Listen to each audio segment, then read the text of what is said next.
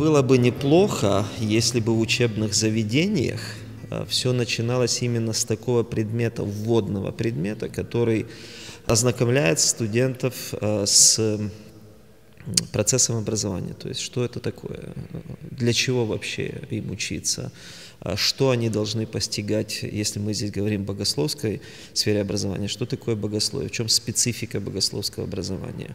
Вот, вот такие вот вещи нужно студенту знать, но это не обязанность студента, это обязанность учебного заведения преподнести или преподать студенту вот такие азы. Азы в том, что что такое образование, что такое образовательный процесс, что такое специфика богословского образования в сравнении с другими какими-то образованиями и так далее. Вот это если э, есть учебного заведения, если студент э, ознакомлен с этими э, какими-то азами, то тогда ему, конечно, гораздо проще будет, э, во-первых, знать, что он должен ожидать, что он смеет ожидать, на что он может надеяться в образовательном процессе, на что он может рассчитывать, и что его ожидает в каком-то конечном э, этапе образовательного процесса. Все это прописано в любой школе, но не все школы справляются с этим.